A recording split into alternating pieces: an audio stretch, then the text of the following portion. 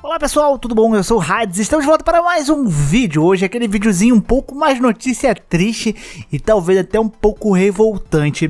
Hoje nós vamos falar sobre os jogos da Warner. Pois é, a Warner está com projetos de vários jogos para ser lançado, inclusive um desses jogos é que eu estava louco para jogar, que ele foi adiado para 2022, que foi o jogo do Harry Potter, mas também tem o próprio Gotham Knights, que é no universo do Batman, que eu também estou muito interessado em jogar, mas com essa notícia tudo mudou. Tudo ficou ruim, eu poderia dizer. E a gente vai comentar um pouquinho sobre isso aqui e falar sobre os casos em geral, por que, que esta medida que a Warner e outras empresas de jogos estão tomando está se tornando uma praga dentro do mundo dos videogames. Eu espero que isso dê muito errado para as empresas que comecem a adotar muito essa prática. Nós vamos conversar sobre isso aqui, então deixa lá que se inscreve no canal, puxa o banquinho aqui e vambora. Bem, basicamente foi falado aí pela Warner, né? Na verdade, ela anunciou uma vaga de emprego em que ela lista claramente que fala que está tendo projetos, desde projetos simples a projetos já clássicos da Warner e que eles serão focados em jogos como serviço. E como que funciona os jogos como serviço é algo que já existe há muito tempo, mas eu acredito que essa nomenclatura jogos como serviço começou a se tornar mais popular agora porque muitas empresas viram o potencial de lucro de conseguir isso aqui e estão adotando. O que é game como serviço? Games como serviço é simplesmente você lançar um jogo e você ir disponibilizando atualizações, updates, que é a mesma coisa, não sei porque eu falei igual, enfim, atualizações, é, itens novos, todos de formas pagas. Então você tem o jogo e aí a empresa vai, ah, vamos lançar a skin do Kratos, por exemplo, Fortnite. Lançou vamos lançar tal armadura nova nesse jogo. E aí lança. E todos esses itens, né, eles são pagos e eles vão lançando com o tempo. Tipo, um mês lança um pouquinho, outro mês lança outro. para tentar manter a galera mais tempo no jogo, né? E servindo serviços, dando coisas pro jogador, dando entre aspas, né? Pro jogador pagar e aí, consequentemente, ir jogando por mais tempo. É, isso daí é um algo bem que já acontece em muitos jogos. É, MMOs, por exemplo, a gente poderia considerar como jogos como serviço, porque você pega, joga o MMO e eles vão adicionando conteúdos novos, né, consequentemente, e com esses conteúdos vem a taxa das microtransações em muitos casos, dependendo do MMO, isso de uma prática normal, mais saudável, ou aqueles que é simplesmente um pay to win. Né? O problema é que o games como serviço em si não vejo como uma, um problema nem nada do tipo. Até porque é uma forma de um jogo se manter quando ele precisa se manter. E eu falo isso porque em jogos online, GTA, o online a gente pode considerar algo desse tipo, o próprio Fortnite, só que Fortnite é gratuito, mas jogos online, querendo ou não, eles precisam manter-se atualizados. Né? Gente tem que ficar lançando conteúdo para manter os jogadores, senão todo mundo vai embora, porque o jogo não tem mais nada para oferecer. E, consequentemente, eles precisam ganhar dinheiro sobre isso. Então, aí que vem conteúdos novos, mas ao mesmo tempo eles vão lançando skins novas, às vezes outras formas de, de monetização com o tempo eles vão adicionando esses jogos para se manter. Né? Jogos online precisam disso porque sempre tem profissionais trabalhando ali por trás para poder desenvolver conteúdos novos, servidores que têm que ser mantidos ligados. Então, tudo bem, né? Você ter algo, jogos como serviço em jogos online, por mais que o jogo original seja pago, isso tem que ser feito, mas que obviamente tem que ter a dosagem para não se tornar algo pay to win. O grande problema agora é que os games como serviço estão tornando jogos que são focados em single player em jogos como serviço e também jogos que poderiam ser lançados de uma outra forma estão sendo lançados nesse molde todo para poder arrecadar mais dinheiro e franquias aí começam a ser destruídas. Caso mais recente, Os Vingadores, um jogo de looter que para mim, tá sendo um dos piores gêneros da atualidade.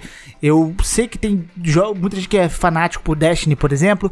Tem jogos lutas que são bons, mas, cara, eu vejo que um jogo vai ser lançado como luta, eu já torço o nariz, eu já fico de saco cheio, porque está um saco. A galera tá criando esse gênero pra simplesmente manter esse gênero que ele casa muito bem com jogos como serviço, né? Porque eles vão lançando mapas novos, vão lançando muitas skins ali, e o, o Luther ele junta o fato de você ter um pós-game que você fica farmando para sempre, né? Querendo ficar mais forte. E isso daí casa perfeitamente. Então muitas empresas estão mudando seu gênero pro Luther. E no caso do próprio Assassin's Creed, que a gente já fez um vídeo aqui comentando, que é uma espécie de jogo como serviço. O jogo ele lançou só que ele está lançando aos poucos armaduras novas que são pagas na loja, são extremamente caras. Se você quiser ter todas pagando, você vai gastar muito mais do que o jogo base e já está meio a meio quase, né? Você tem se eu não me engano, 8 armaduras pagas e 10 armaduras, 7 armaduras que você consegue no jogo original. Então, metade das armaduras que estariam disponíveis no jogo, elas estão sendo lançando pagas ao tempo, e aí eles arrumam aquela desculpinha, lançam um eventozinho que é para manter o jogo, né? Para arrumar desculpa e vende por trás itens caríssimos dentro do jogo, né? Que você não consegue coletar todos de uma forma fácil, a não ser que você pague. Então, o Assassin's Creed Valhalla é um caso de games como serviço. Os jogos do Vingador também é um caso de games como serviço.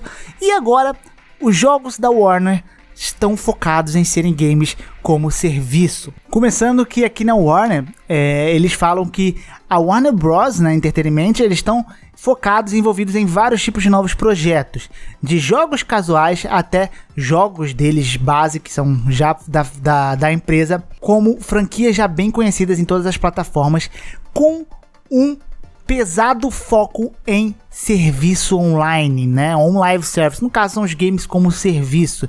Isso aqui está simplesmente numa oferta de emprego da Warner Bros. mostrando que basicamente todas as suas seus trabalhos e franquias estão focados em games como serviço. Então esperem Batman, né? Batman não, Gotham Knights agora, que a galera já estava com o nariz torcendo na época que o jogo foi mostrado o gameplay, porque a galera já ficou meio desconfiada porque ela viu level ali nos personagens, coisa que nenhum jogo da franquia Batman tinha, e aqui você teria outros personagens, algo muito semelhante com o jogo dos Avengers, né, dos Vingadores. A galera já tinha ficado meio desconfiada porque o jogo tinha ali os levels, só que numa entrevista, né, a, eles falaram que não, é um jogo RPG e que não será ofertado como jogo como serviço. Isso foi feito numa entrevista lá para agosto de 2020. Mas agora parece que mudaram de ideia. Eu acho que tem Game Team aí na história. Que na oferta deixa claro que os seus projetos são focados em jogos como serviço. O que provavelmente ele pode ter elementos de RPG, mas ele vai ser no velho e clássico Luther Shooter. O que, cara, é horroroso isso, porque eram franquias que eu amo, uma das minhas franquias favoritas, que é, é o Batman na série Arkham, que é da Warner, e ver esse, esse jogo, esse universo se transformado em um básico Luther Shooter apenas para farmar dinheiro e tacar microtransação, cara, isso me deixa triste pra caramba, né? Porque todo jogo como serviço, ele tem de foco microtransações, não importa se ele for Luther ou não. E o próprio Hogwarts Legacy também também vai ser desta mesma pegada. Provavelmente abarrotado de microtransações, talvez um mapa do maroto falando: ah, clica aqui para fazer essa missão. Aqui tem outra missão que você faz com esse personagem, você pode escolher tal personagem. Será que vai ser um looter também essa merda, mano? Porque eu vou ficar muito triste, velho. Porque, mano, eu não aguento mais jogos looter, eu não aguento mais looter e jogos como serviço em jogos full price. Isso é extremamente horrível, isso atrapalha o jogo de uma forma, cara. Infelizmente é algo que está dando muito lucro para empresas como a Activision, que está adotando esta forma aí de negócios e querendo ou não, se dá dinheiro, as empresas vão fazer. Se eu fosse uma empresa, se você fosse uma empresa, provavelmente você faria também.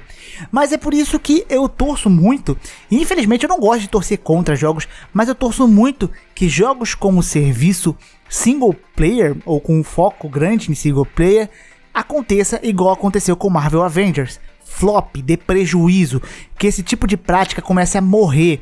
E eu espero que os jogadores não incentivem esse tipo de prática, sabe?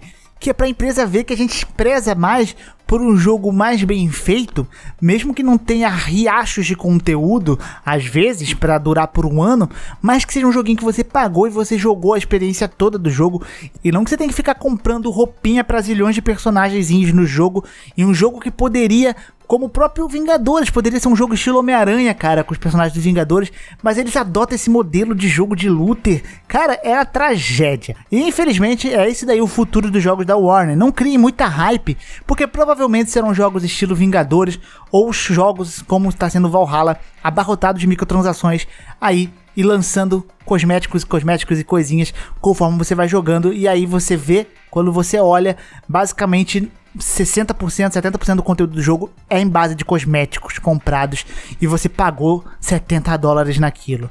É, é bem triste. Espero que não dê certo esse tipo de jogos, que assim a gente acaba tendo cada vez menos essas coisas nojentíssimas, né?